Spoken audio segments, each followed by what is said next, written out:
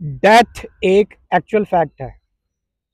मृत्यु एक परम तथ्य है। और अगर हम बात करें डेथ की तो अगर हम पूरी तरह से किसी चीज़ को सच माने कि सच क्या है, सत्य क्या है, हम में से ज़्यादातर लोग तलाशते हैं इंक्वायर करते हैं कि ट्रुथ क्या है एब्सोल्यूट रियलिटी क्या है। तो जिसे देखा जा सकता है, जिसे फील किया जा सकता है, महसूस किया जा सकता है, वो डेथ ही है। हमने किसी का जन्म होते हुए नहीं देखा कि प्रिपरेशन हम देख रहे हैं कि जो है वो फर्टिलाइजेशन हो रहा है, उसके बाद जो है वो बच्चा बन रहा है। नहीं, लेकिन हमने एक चीज़ देखी है कि जब कोई व्यक्ति मर जाता है, किसी की डेथ हो जाती है तो उसके बाद उसको मिट्टी में हमने मिलते हुए देखा है। वो पूरा प्रोसेस हमने देखा है। हम इस चीज़ को विटनेस कर रहे हैं। तो अगर सच्चाई की बात की जाए एक्चुअलिटी की बात की जाए और ऑब्जेक्टिवली एब्सोल्यूट ट्रुथ की बात की जाए एब्सोल्यूट फैक्ट की बात की जाए तो जहाँ पर अभी हम इस टाइम रह रहे हैं, वहाँ पर हमारे लिए जो सबसे बड़ी सच्चाई है वो डेथ है, मृत्यु है। और इस चीज़ को, इस चीज़ को लेकर हमें पहले से प्रिपेयर रहना चाहिए। किसी भी ऑर्गेनिज्म की कोई भी व्यक्ति आया है तो उसकी डेथ होनी तय है, चाहे वो जानवरों में हो गया, चाहे वो माइक्रो ऑर्गेनिजम्स में हो गया और एनिमल्स में हो गया ह्यूमंस में हो गया, किसी में भी। तो अगर हम डेथ की बात करें डेथ है क्या? डेथ मीन्स जो भी आप जानते थे, जो भी आपका नोन था, उसकी एंडिंग हो गई है। फिजिकली तो आप हो चुके हो खत्म, लेकिन अगर मैं माइंड लेवल पर बोलूँ कि जो भी आपके अंदर इंफॉर्मेशन जो जो भी आपके अंदर डेटा था दिमाग में साइकोलॉजिकल डेटा जिसकी वजह से आप परेशान हो रहे थे या या फिर आप किसी चीज़ को अचीव करना चाहते थे, जो आपकी प्रोग्रामिंग और कंडीशनिंग थी वो आपकी ख़त्म हो गई। तो आप नॉन से कंप्लीटली लिबरेट हो गए, जिस चीज़ों को आप जानते थे। तो जिन चीज़ों को आप जानते थे, उनसे जब आप लिबरेट हो गए, तुम फ्रेश हो गए। तो डेथ एक फ्रेश चीज़ है। अब इसका मतलब ये नहीं कि हम विलिंगली ऐसा कर रहे हैं। इट्स ऑल नेचुरल नेचुरल तरीके से होनी चाहिए।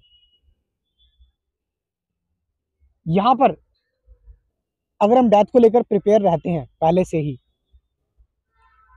अगर हम इस चीज़ को फैक्ट मानते हुए चलते हैं कि हर किसी की डेथ होनी है एक ना एक दिन तो हम उन चीज़ों को ज़्यादा प्रायोरिटी देंगे जो एक्चुअल में हमारे काम की हैं, जो सच में हमारी लाइफ में वैल्यू ऐड करती है जिसमें, जिससे हमें सच में प्यार है। सो so, हम बेकार की अननेसेसरी चीज़ों के पीछे नहीं पड़ेंगे नहीं भागेंगे। क्योंकि एक ना एक दिन तो सब कुछ छूट जाना ही है। एक ना एक दिन तो सब कुछ खत्म हो जाना ही है। तो क्यों ना उसको जिया जाए जो हमें मोस्ट एक्साइटिंग लगता है जिसको लेकर हम बहुत पैशनेट हैं। फिर चाहे कुछ भी हो सकता है। अगर मैं बात करूँ बड़े से बड़े स्पिरिचुअल फिलोसोफर को डेथ नहीं जगाया था। रमन महर्षि को भी डेथ ने जगाया था, उन्होंने डेथ के ऊपर एक्सपेरिमेंट किया था। अगर हम बात करें जय कृष्णमूर्ति को भी डेथ ने जगाया था। जय कृष्णमूर्ति के जो भाई थे नित्यानंदा, उनकी डेथ हो गई थी तो उसके बाद जय कृष्णमूर्ति के लिए फिर अलग ही वर्ल्ड खुल गया था। हम अगर ओशो की बात करें तो ओशो के साथ भी ऐसे ही था कि जिससे वो प्यार करते थे, उनकी गर्लफ्रेंड थी, उनकी भी डेथ हो जाती है। बहुत सारे ऐसे स्पिरिचुअल लोग हैं तो जब आपको ये चीज़ मैं कह रहा हूँ कि नॉट थ्योरिटिकली आपको रियलिटी में सच में पता लग जाता है।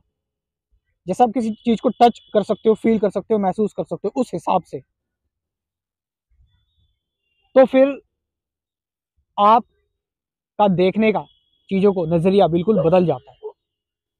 क्योंकि यही सच्चाई है। कोई कॉन्सेप्ट कोई धारणा, कोई रिलीजन कोई बिलीफ कुछ सच नहीं है। क्योंकि एक ना एक दिन सब कुछ छूट जाना है।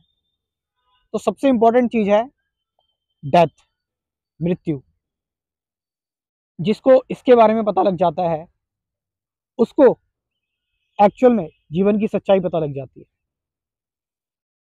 अगर हम उपनिषद की बात करें तो उपनिषद में भी एक स्टोरी है, नचिकेता और यमराज की। नचिकेता यमराज से पूछते हैं कि डेथ क्या है? डेथ के बारे में इंक्वायरी लेते हैं। तो यमराज कहते हैं कि ये तो वो क्वेश्चन है जो जो देवता भी नहीं पूछते। क्योंकि ये बिल्कुल अगर हम इसके अंदर एक बार इंक्वायर कर लेते हैं इसके अंदर जाकर तो ये चीज़ हमें बिल्कुल लिबरेट कर देती है। फिर हमारा डर खत्म हो जाता है किसी भी चीज़ को लेकर। लास्ट में जो लोग इंटरेस्टेड हैं और जो लोग अफोर्ड कर सकते हैं सही स्पिरिचुअलिटी सही अध्यात्म क्या है, इसको जानने में पैशनेट है। तो उन लोगों के लिए मैंने एक कोर्स प्रिपेयर किया है। आप चाहें तो इस कोर्स में इनरोल कर सकते हैं। स्क्रीन पर जो नंबर दे रखा है, उससे व्हाट्सअप करके। Thank you very much